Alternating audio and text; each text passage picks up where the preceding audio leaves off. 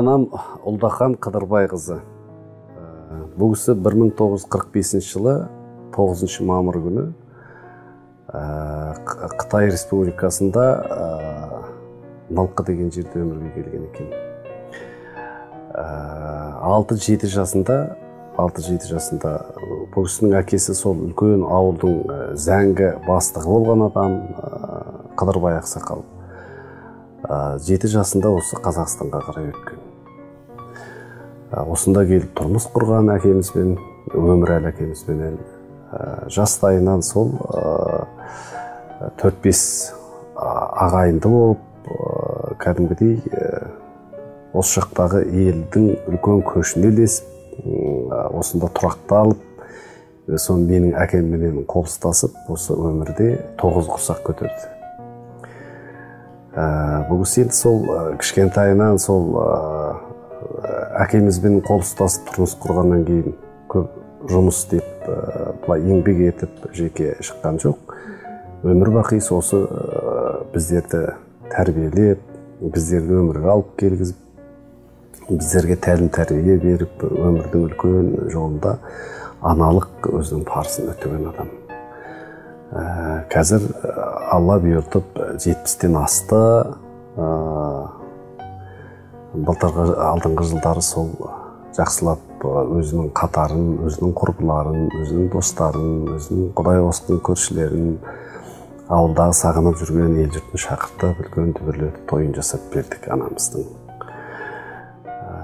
Анамыз енді мен ес білгелі балаларға зекіп ұрсу болмаса бір мені сондай бір ренжіткен жерін көргенім жоқ анамның Ә, мен білетін анам осы мен оқып жүрген кезде есім білгелі бері ә, не нәрсені мысалы керек деп тапсам сол дүниені маған қолын ұстатқан кісінің бірі осы менің анам. Ә, бәрімізді мұқият осы оқуға барғаннан бастап ә, қадағалап оқуымызды киген киімімізді араласқан адамдарымызды барлығын қадағалап жүретін осы анамның еңбегі зор деп ойлаймын өз басым. Ә, содан кейін бұл кісінің ә, ең керемет қасиеті бұл көршілермен өте тату тәтті тұрады. Ә, біздер енді кейінгі кезде осы алматыға қарай көшіп кеткенбіз ауылдан 95 жылдан бастап. Сондағы қазіргі көршілермен де бұрынғы көршілерін өзінің туғанындай қылып іздеп жүреді. Соларды сағынып жүреді қолы босай соларды аралап амандығын білуге тырысып жүреді. Ә, шыны керек ә, ауылда тентек балалардың қатарында сапта тұратынмын. Бір күні сол балаларменен өзім достарым ғой. Ә, рогатка ататынбыз ғой торғай атып соны жасап алып енді торғай құрып қалғандай бүткіл мектептің терезесін атып сындырып тастапты. Содан үйде жатсам айғай шу далада балаң қайда? деп жаңағы бір ауылдың жаңағы әкімдері сол шапқылап келіп көрген ел- елдер бар ғой айтқан ғой бәленбайдың баласы атты мынаның бәрін қиратты сонда орнымыздан атып тұрып терезеден шығып қаштық далада бел асып жаңағы. Сол түстен кейін келсем ойладым енді мен әй бір енді сыбап ұрсады ау мені бір енді әкемді өзіме танытады деп келсем шешем сабырлы отыр. Шақырып алып ыыы, болған жағдайдың бәрін түсінгісі келеді. Бірақ баламыз ғой ол соны әкеміз екеуі отырып жаңағы бүткіл мектептің терезелерін түгендеп берді. Сол балалық кез енді шатырға шығып алып ә, сол шешемді қорқытады екен. Шатырдың арғы бетіне өтіп кетсем жаңағы көршілеріміз бар. Ойбай түсте түстеп енді әйел адамдар шатырға шыға алмайды ғой. Үйдің арғы бетіне жүгіреді екен. Бәрі өтіп біткенде мына бетіне өтеді екен сол мына бетіне қарай жүгіреді екен. Содан енді ауылдың жігіттері келіп сол шатырдан мені түсіріп алыпты. Сонда да ойлайсың ғой енді қазір жақсылап бір сыбайды ғой бұл шешеміз бізді деп. Шешенің бір өткір тілі өткір қолы болады ғой кейде бір осы. Сол кездерде де сол бізге қол тигізбейтін бұл кісі әкең келсін әкең сазайың тартқызады дейді. Әкеге сөйт бірақ әкеміз кейде бір қабағынан түсіндіп отыратынбыз. Ұрсатынын білеміз ауыр сөз айтатынын білеміз бірақ сол шеті шыққанда түсініп отыратынбыз жанарымыз төмен салып. Енді біз сондай бір аспандағы қол жетпейтін дүниені алғызып жеген емеспіз. Барға қанағат жоққа риза болып өстік ауылда. Ә, анамның он саусағынан қолының табы түскен әрбір тағамы біз үшін ең бір баға жетпес дәм болып есептелінеді. Не жесек те сол әкемнің жеген тамағы анамның жасаған тамағы маған сондай бір керемет ас болатын. Қыздарына барып тұрады аралап тұрады апарып тұрамыз. Киім деген киімдері бола ма енді шама келгенше ә, сондай анамызды енді борышын өтейсек деген бір арманмен перзенттік парызымызды өтеп жатқан жағдайымыз бар. Енді мен анамды ренжіттім деп айта алмаймын. Әкемді де ә, анамды да қолымнан келгенше адам бақыты ананың табанының астында дейді ғой. Ә, сол анамыз енді ренжітпеуге тырысамыз ол кісі не айтады? Бізге сол кісінің айтқаны заң қазір. Ә, менің есімде жоқ. Енді анамды зекіп тастау анама ұрсып тастау деген ә, нәрселер. Өз басым анама ондай нәрсе жасап көрмеген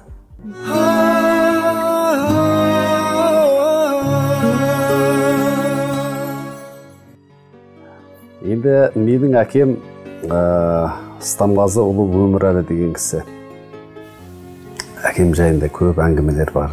Ә, әкем 1937 жылы ә, бірінші қыркүйекте өмірге келген.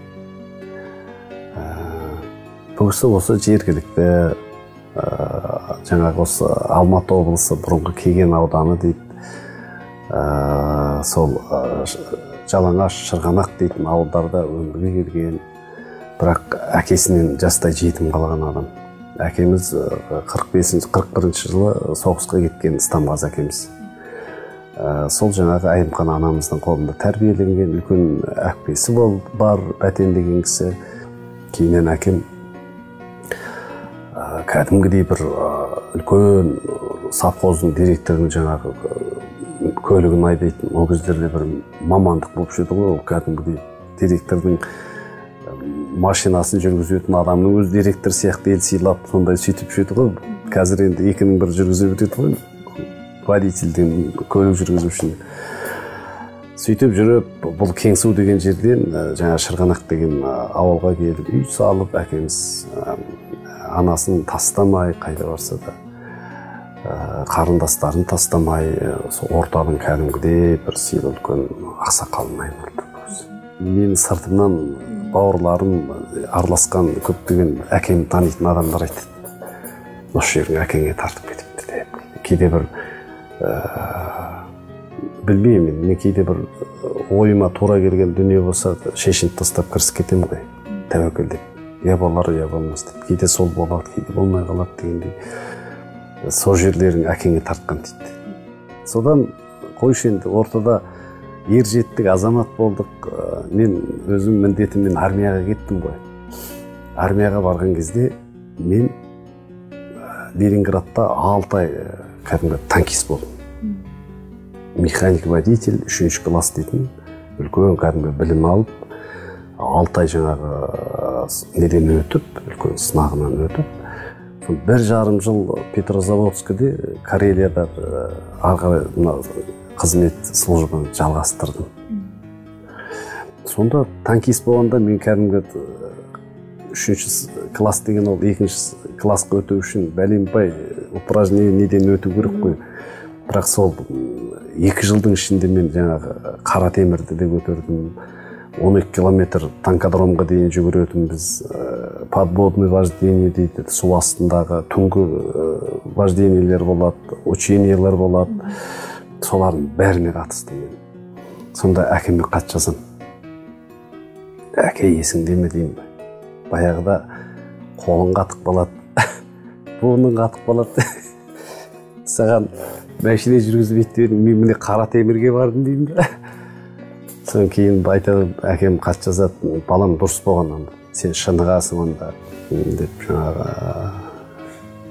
керемет керемет ақыл айтатын айланып келгенде соны қарасам мені сол өнерімді менің ар жағымдағы бір, бір нәрсемді әкем сезетін екен ғой. Ә, әкем екі жылда бір астына ат ауыстырып тұрған екен. Жорғаның жақсысы мінді. Ә, кейде айтатын бір жылдары бір керемет теңбіл-көк алып келдім теңбіл-көк кәдімгі биік еңсесі биік ақалтеке кәдімгі арқалары теңбіл теңбіл әдемі. Сөйттім да жаңағы атты қуанып көршілері бар енді жаңағы. Жақсы болды деп қалады. Бір аптадан кейін келсем орнына бір ақ ат тұр ана теңбілкөк жоқ. Сосын әкемнен сұраймын әке ат қайда? деп. Сүйсем айтады ғой енді мен ой анау жираф па? дейді. Жираф анау биік. Өзі ағашты жер ғой енді тұрған кейінгі кезде тұрған жер. Малға бірдеңе шыққан кезде басы қатты екен дейді. Ана ағаштың ішінен ала қашып кіріп кеткен кезде аттан түсіп қала жаздаған ғой. Анау жирафтан түсіп қала жаздады мынау тұрған ағатың жақсы екен аласа дейді да ағаш ағаштың арасынан өте береді деп жаңағы менің көңілімді аулап жатыр ғой. Сол өзі кішкене ауырып жетпіске келгенге дейінгі уақытысында сол аттың үстінде жүрді. Ә, кейін ойлап былай қарасам әкем сондай қайратты адам болған мінезі жұмсақтау ең кереметі көп нәрсені кешіретін ол кісі кешіре салатын жоқ болыпты балам. Бір құдайға тапсырдық деп отыр. Ренжіме ешкімге дейтін орны болады өзінің нәрсесі. Әкем содан кейін енді тағы да айланып келгенде өнер адамымыз ғой. Мықты мықты жігіттер кезінде бізге көлік мінгізді мысалы астымызға. Сонда ең алғашқылардың бәрін әкем апарып беретін соны енді ананы мініп көріп мынаны мініп көріп сонда тастап кетемін жаңағы әкемнің қолына. Содан кейін бір айланып соған онда гастрольге көп кетеміз біздер. Сонда ана баласына бере салады мына қызына бере салады жаңағы көлікті сосын мен келсем өзі баяғы советский жаңағы жигули соларды қалдырады да аналарды алып кетеді ғой. Сен әкем ұрсам неге сіз бересіз енді ол жаққа мен сізге алып келдім ғой мұны деп. Сөйтсем әй балам аналарың бір асауат сияқты ала қашады мынау өзім үйренген машинем ғой бұзылса да қолымнан жасап аламын деп. Сөйтсем жаңағы балаларын ойлайды екен ғой. Анау жаяу қалмасын мынау ағаң бәленбай деген аты бар. Сол ағаң жаяу жүреді деген аты да жаман. Балам бере салшы деп. Әкеміздің сондай бір үлгілі дүниесі өзі осы өтіп кеткенмен де өмірден. Ә, бірақ сол кісінің қара шаңырағын түтетіп отырған қара қазанын қайнатып отырған ә, анамыз бар аллаға шүкір. Ортамызда қазір ә, орында бар оңалар дейді ғой енді. Сол әкеміздің көрмеген шөберелер келіп жатыр өмірге. Әкем көрмеген әкем иіскемеген сол шөберелерін анам қазір маңлайынан иіскеп отыр. Сондықтан шүкіршілік жасаймыз барлығына. Енді кейінгі жастарға айтатын нәрсе әкенің сөзі парыз болады дейді ананың сүті қарыз болады дейді ғой қазақ. Сол қарыз бен парызды ұмытпаса екен деймін жастар көздің тірі кезінде сол үлкендерді қадірлеп өтсе деп ойлаймын. Әкенің биіктігі ананың қамқорлығы деген өзі адам өмірде бақтың келгенін емес бақтың қайтқанын сезеді дейді. Сондықтан сол қайтқан кездегі дүниені сезіп қалмаса екен жастар.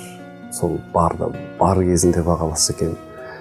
Ә, сондықтан ә, ата ананың сол орны ой сұрамайтындай әке мен ананың үмітін ақтайтындай жастар сол бар кезінде қадірлеп өмірде сол жақсы елеспенен жақсы көңілменен ата анасын есіне алып отырса дейтін тілегім.